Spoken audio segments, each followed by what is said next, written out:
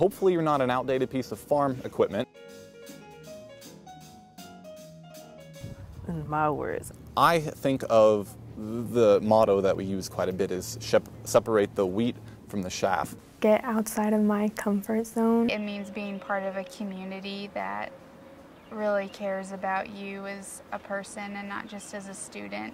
And anywhere you look, you feel like you have a friend. To be discerning, to be able to take an issue and find the important bit down at the bottom. Perseverance and dedication. If you want to succeed, you have to make sure that you're uh, working hard and you might be tired, but you have to push through. To be a thresher, it means to grow.